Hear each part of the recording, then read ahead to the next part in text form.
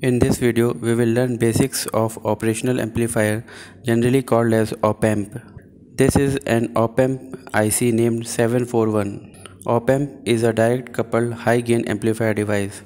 It is used to amplify AC as well as DC input signals. Op-amp was originally developed to compute various mathematical functions such as addition, subtraction, multiplication, integration, etc. Op-amp comes in 8-pin DIP package, metal can package and pin surface mounted IC. Op-amp has 8 pins. Pin 7 and 4 are plus VCC and minus VCC pins.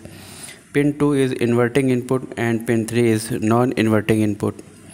Pin 6 is the output pin. Pin 1 and pin 5 are offset null pins. Internal circuit of an op-amp 741 IC consists of 20 transistors and 11 resistors.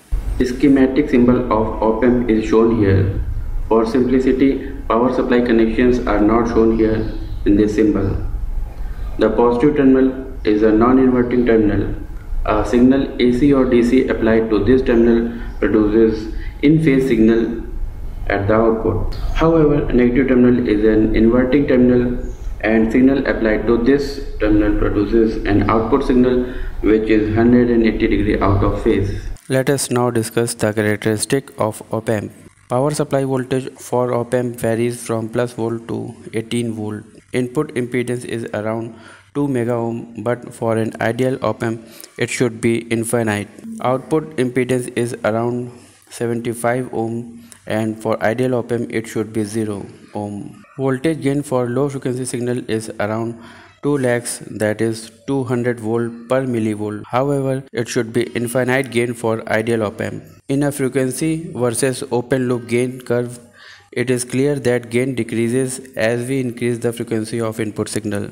Next, we have maximum output current which is 20 milliampere maximum and the output load should be greater than 2 kilo ohms. Input offset voltage ranges from 2 mV to 6 mV and a high slew rate of 0.5 volt per microsecond. It is the rate at which op-amp detects voltage changes.